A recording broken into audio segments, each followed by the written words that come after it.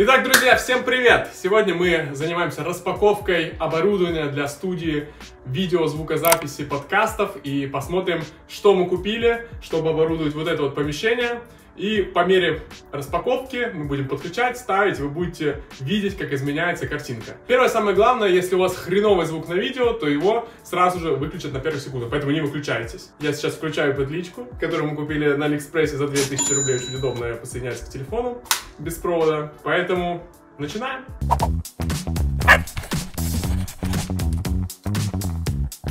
Коль мы начали со звука, нужно его продолжать. Конечно же, мы будем писать подкасты не на вот эти непонятные петлички Салика, а на нормальные микрофоны. А, мы выбрали и решили приобрести вот такие вот микрофоны фирмы Rode, которая, в принципе, популярна да, в звукозаписи. Маркировка NT1 а, пятого поколения. Black есть, э, соответственно, там золотого, серебряного цвета, и вот мы взяли черные. Вот такая вот история. Давайте откроем, посмотрим. Все это бралось, э, ну вот именно это оборудование в виде микрофонов, три штуки. Мы брали на Горбушке в Москве. Это такой непонятный рынок. Что входит в комплект? Я уже этот э, набор распаковывал, тестил, смотрел. Раз, два, три. Раз, два, три. Такой держатель паук. Паук, который вот я уже колхозил тут резиночку, чтобы записать это все. Это все лишнее. Прикольно, что все это идет в комплекте сразу. Не надо вам будет отдельно выбирать, подбирать. Так, кабель я на самом деле не знал про это, что идет, э, наверное, 5 метров, по-моему, в комплекте. И купил еще подлиннее на 7 метров, еще 3 штуки. Ну ладно, они, я знаю, что они часто выходят из строя, вот часто ломаются. И, соответственно, имейте в запасе, чтобы не сорвалась никакая из съемок. Дальше, сам микрофон упакован пустая коробка, э, мешочек Made in Australia. Э, my English is good. Так сильно приятно. Раз, два, три. Он пока не подключен, поэтому это бесполезно. Кстати, мне понравилось, что разъем э, здесь есть как стандартный, да, трех, трехфазный, э, так и под, э, современный э, вот этот USB, как он, переходничок, который уже Type-C-шный, да. Вот, надо с ним поаккуратнее, потому что они супер чувствительные. Так, а это просто пустая коробка. Вот такая, такая история какие-то QR-кодики, какие-то рекомендации, которые, конечно же, мы не будем читать. А мы идем дальше. Свет мы выбирали гораздо проще. Без света никуда. Что мы выбрали? Хороший свет среди э, любительского, переходящего на более современный любительский уровень, это Nice Photo. По стоимости, ну, как два фонаря. Один брали не новый, другой брали новым, потому что не было два штуки в наличии на Авито. 14 тысяч рублей.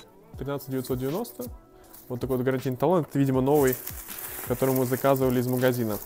Хорошо упакован. Я еще не вскрывал его, вообще не видел, как он живую выглядит. Прожектор Paris Hilton. Если я включу вам в глаза, так... Nice фото HC 1000 SB 2. Второе поколение.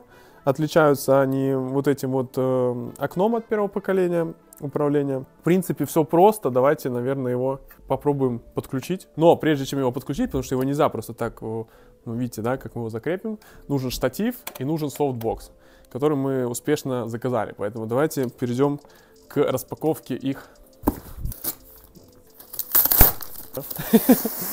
Да, NiceFoto. Вот такой вот набор туриста, выглядит как палатка. Если вы ночевали в лесу, вы понимаете, о чем я. 7 900, представляете? 7 900 за непонятный зонтик. Цены, конечно, убивают. Так, это сеточка, я чуть позже покажу. Это, соответственно, полотно, которое натягивается. Готовы? Я раскрываюсь. Так, как это работает? Честно говоря, я никогда не открывал это новое. Всегда, всегда был гафер, который, который этим занимается. Не совсем понимаю, как это работает. Полотна почему-то два. Я, честно, не читал инструкцию, вообще не понимаю, что будет.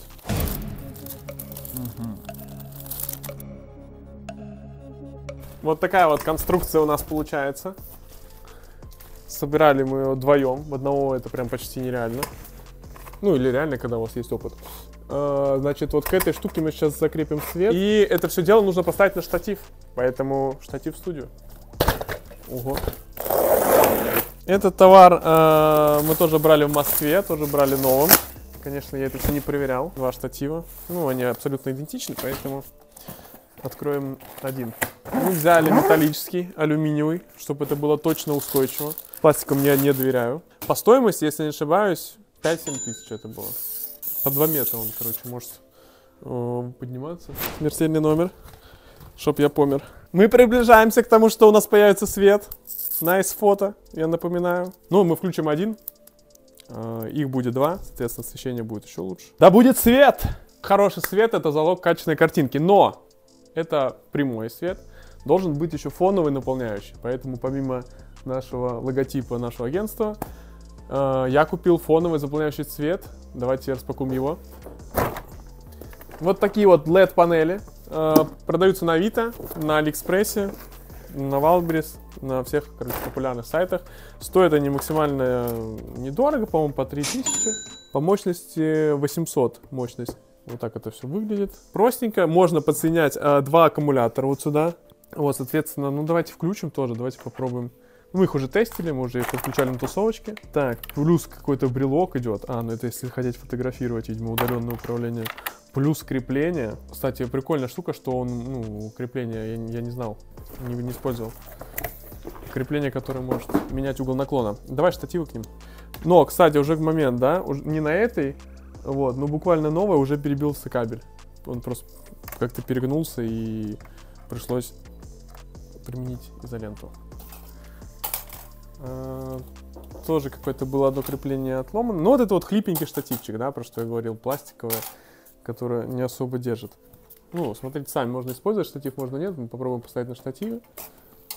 Возможно, от него можно отказаться и их просто положить снизу, чтобы он светил на стену. Это неудачная покупка. Ну, не, ну не вырежем, но их будет две, во-первых. Уже может быть лучше. Но есть, я знаю, такие длинные LED-панели. Посмотрите их, они получше освещают. Я думал, он тяжелее. Так, не совсем понимаю, что это пока. Но есть предположение, что это тоже... А, это софтбокс. Второй, наверное. Да, такая же коробка, такой же чехол. Какой-то из них прям новый-новый, второй просто в один раз в использовании был. Это такие штуки для того, чтобы улавливать сильные вибрации и эхо. Фильтр, который должен налезть. Произойдет ли это? Смотрите прямо сейчас.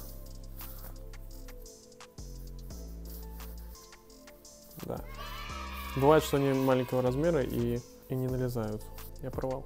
Блин, я порвал. Теперь, когда будете смотреть наши подкасты, знаете, один из них чуть-чуть надорван.